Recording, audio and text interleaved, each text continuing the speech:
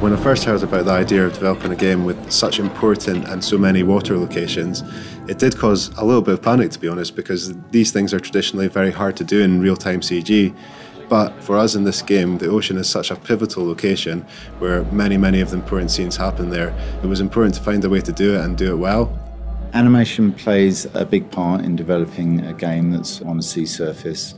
Obviously, we have the sea simulation. We have a boat that needs to react and behave in a believable manner on that surface. And then we have the characters that also need to react. In order to get the characters behaving realistically on the boat, we tried various different techniques of motion capture. We had performances completed on a movable floor, and that simulated the rocking behavior of the boat. All these different elements the sea simulation, the boat rocking, and the characters all needed to work cohesively together for any given scene. We have a procedural sea surface that's used throughout the game.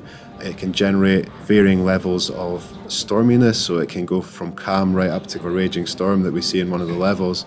The system can tell where things are floating in the water and generate foam around them and generate wakes from boats and that kind of thing. So that really helped us.